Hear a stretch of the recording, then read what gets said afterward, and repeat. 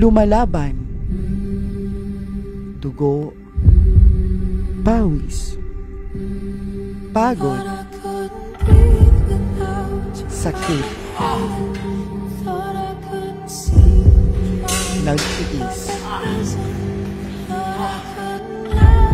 pagkahulog,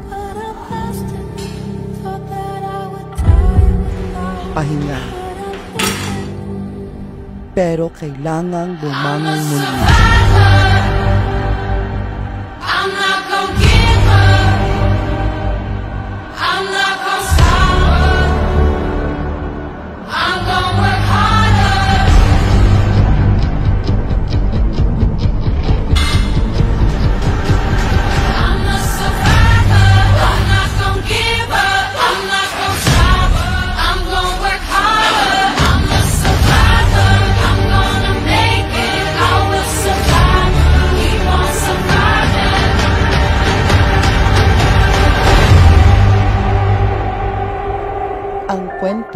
Sa likod sa hardin ng pangarap, katawan ng pagsisikap.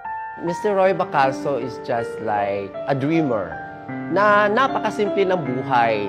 Nabubuhay yung pamilya namin, nabubuhay si mama at saka si papa sa simpleng sakahan where in fact si papa tenant lang, nagrenta lang kami or amo lang ng giuma ang iyang area. So, in short, manggugunami, manghurnal me for us to survive. I'm the eldest of the family, so that's why I have to really do something at that time. So, bata pa lang ako, meron na akong vision sa sarili ko na I, really need to take this out.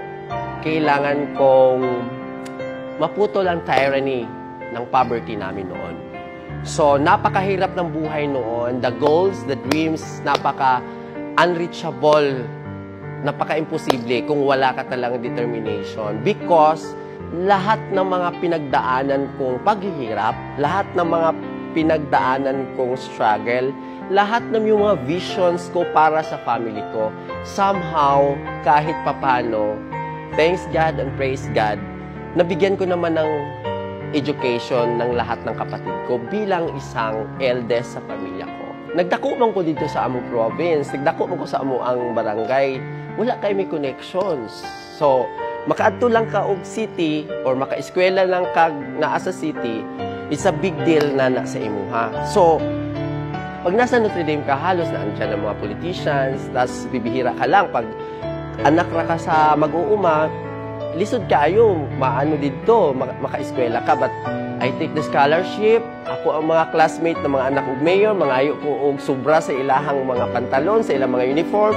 Ako ang teacher, gina, nangayo og mga uniform para masustain ko. Tapos at the same time, ang mga allowance ko, ways and means, like daghan ko gipamaligya para lang masustain ko yon. So, sa pagiging landscape artist ko, it always dwell on the character. It's always dwell on the business side and it's always dwell on the relationship with the client. Because the end of the day, my business does not end on my business or in my landscaping, but my business end on my business relationship with my clients.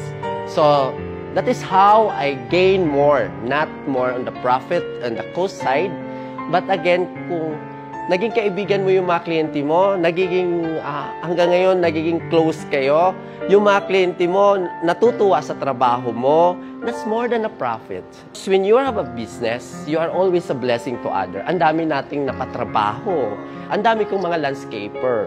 Dati wala silang trabaho. Dati nandyan lang yung mga babae, nandyan lang sa bahay. So, I created a job. Hanggang ngayon, number one, nabubuhay yung mga suppliers ko. I have plenty of suppliers. Sa una, nagtanong-tanong na na sila bulak. Although, nakiilangan din ako, I paid like 100,000 sa ilaha, I paid like 50,000 sa ilaha. So, supplier. Atong mga trabahante, atong mga driver. Okay? Sa pagiging CEO ko dito sa Pacman Gym, ang dami kong mga tao din na in some way, napasahod mo sila. Sa pagiging regional director ko ng Chinky Skin, marami tayong na-inspired na nagiging negosyante. Sa pagiging landscaper ko, ang dami kong... So, that's the essence of being a businessman. You have to be a blessing to others. You have to be influential to others. Yung character mo, being a boss. You have to center everything to God. Dahil wala kang pwedeng aapakan sa kanila and everything has come flowly, freely lang.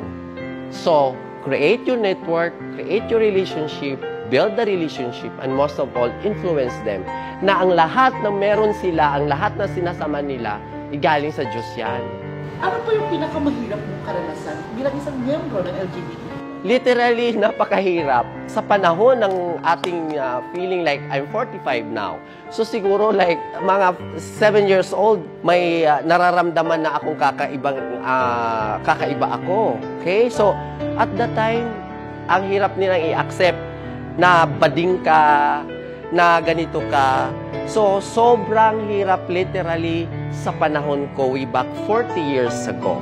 So, one time, nang nag-graduate na nga ako ng college, natrabaho ako ng isang bangko, ah malaking bangko.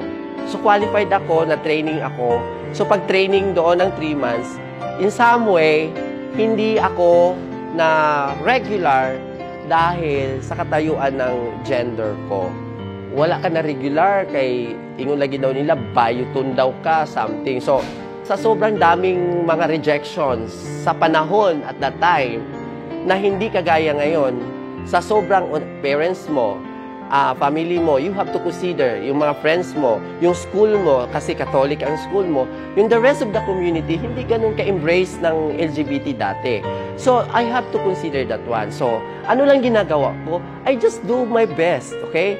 Kung gumagawa ka, ang normal na lalaki, gumagawa ng effort na isa, aba, tayong mga bading, I have to exert like times 10. Patunayan ko na I am existing.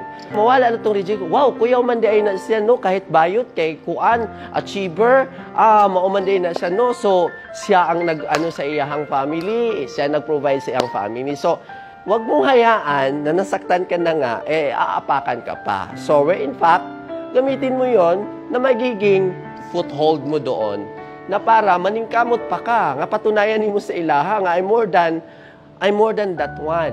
Na kahit bading ako ang dami ko ring napatunayan ang dami kong natulungan lalong lalo na sa family mo. So you know your worth again. At the same time ang pinaka price sa bagong generation ngayon is the acceptance. Okay? We are here to exist. Nag-exist tayo, na-accept tayo. Kung may discrimination man, again, is always go back to yourself biblically, sa verse, sa Psalm 139.14, sabi nga, I praise you because I am fearfully and wonderfully made. Your works are made wonderful and I know that full well. So, minahal tayo ng Diyos. You are equally so, sobrang, sobrang lucky kayo. That's why there's no reason for us not to shine. So, si Lord, wala na siya, nag-adjust, ah, bayot ka, pangit mong purpose. No. You have to know it. Again, establish your intimate relationship to Him for you to know what is your calling. Pag may divine purpose ka, may calling ka, may direction tayo, everything will follow. Kadami-daming LGBT na membro na nagiging blessing sa iba. And I am very proud of that. I have to be very proud of that. Pero ang lahat ng ito makikita sa lahat na natutulungan natin. At ang lahat na ito, hindi ito sa akin. Anytime, in just a one blink, kunin ni Lord ito, wala na din tayo. So, make out of it. Maximize it para marami pang darating.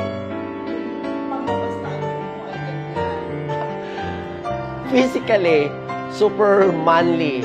Kasi because again, na ako sa negosyo sa fitness gym, okay? I am honored, I am so blessed na to run this business, the Pacman Fitness Gym. So, uh, I have to walk the talk. Ang negosyo ko, fitness gym, tapos hindi ako ganon. So, I, before I enter this business, I have always the passion to exercise. Alam mo bakit? Again, it is not the shape. It is not the shape. It is always the habit to make you healthy. It's a journey. Bonus na yan na nag-shape yung katawan ko. Pero number one, ang purpose ko, I have to do it every day because of my health. Yon ang advocacy ko. It's really a healthy journey. Na journey that it can become an habit. And a journey that it always reflects the advantage sa health mo. Kung madidescribe mo yung LGBT sa panahon yun? Huwag nating walain ang kinang ng ating star. Be always a kinang. So, always be a shine, a star to others. Means to say, be an inspiration. Do your job. And it's always begin not to the people around you. It's always begin in your heart and decision.